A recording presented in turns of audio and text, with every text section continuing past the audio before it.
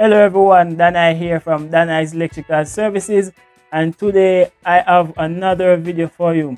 It's been a while since I've been in front of the camera but for today's video it's hard to escape. I have to be here in front of the camera.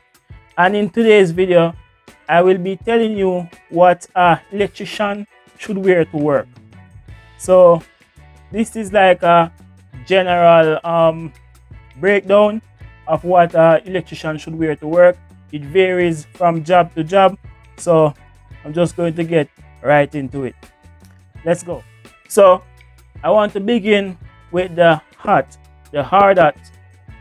If you're working in an industry settings, this is definitely a must. The hard hat is a must, right? But it varies from job to job, as I said before, right? So you have to be the judge. If you are working in an environment where you are prone to things falling, right, from above, if you are working in an environment where someone is working above you, right, there is the likelihood that things might fall.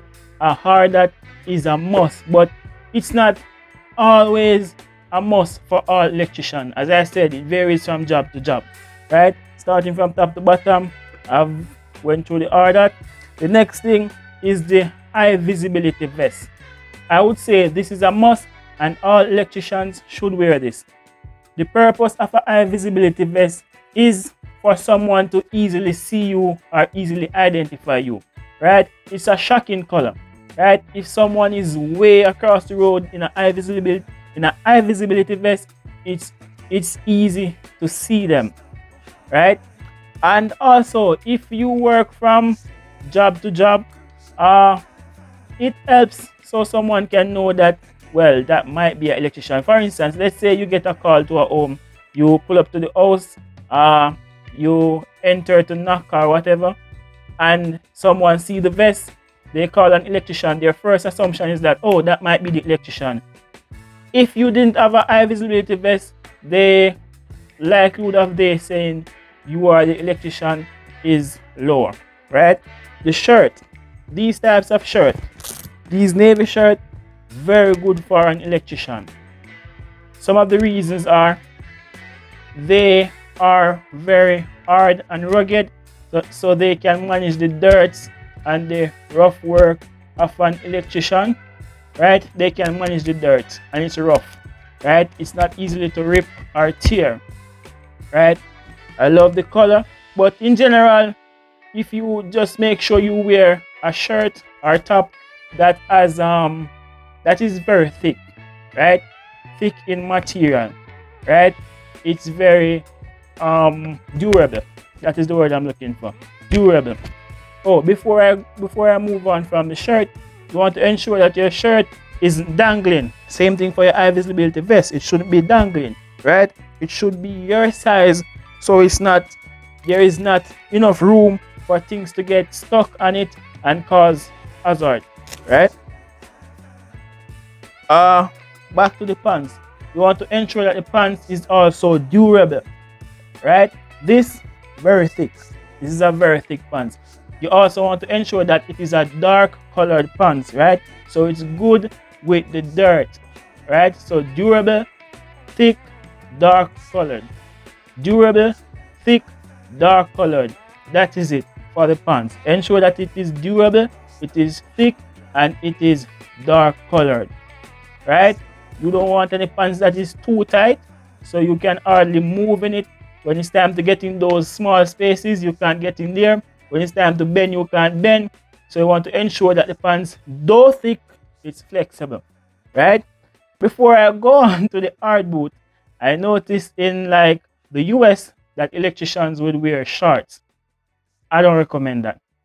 I don't recommend that because there is a lot of hazard as it relates to doing electrical work and wearing shorts. Don't recommend.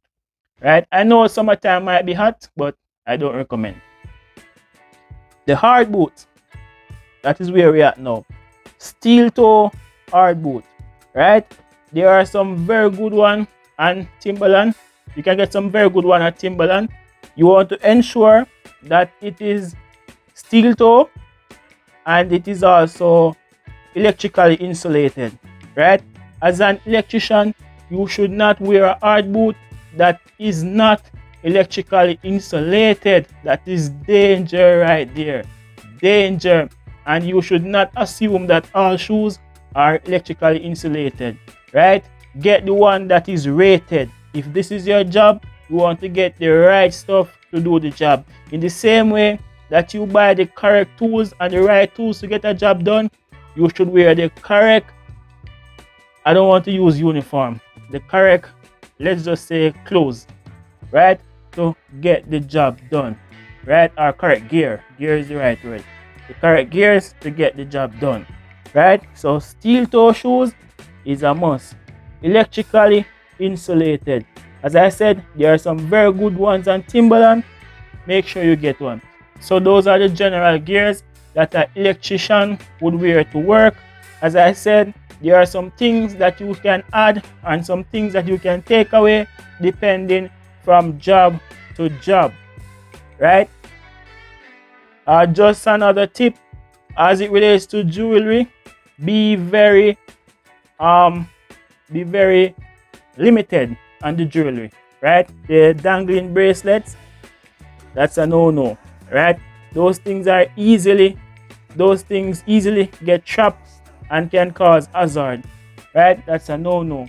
I love my jewelry, but I have to tone down on it when, when, it, when it's time to do my electrical work, right? You can wear a watch, right? But make sure it is a watch that is not dangling. It's firmly fit on your hand, right?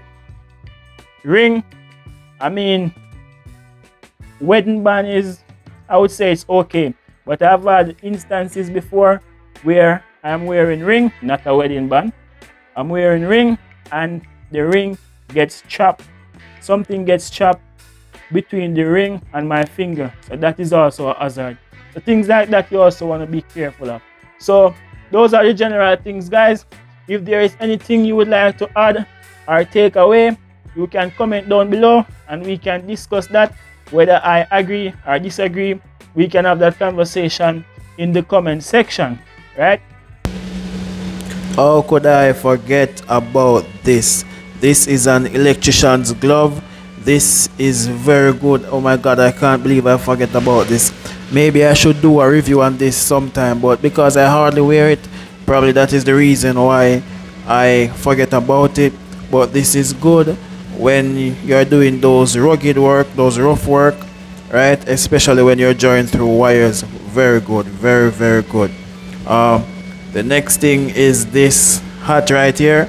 This is what I wear when I'm outside in the sun working in those hot sun. Very good to have a hat like this one. So these are two main things that I forget. Uh, let me know what else I might have forget. So there you have it. This was another video brought to you by Danhi's Electrical Services. For similar videos to these, please feel free to subscribe to my channel at Danhi's Electrical Services. Thank you, thank you, thank you.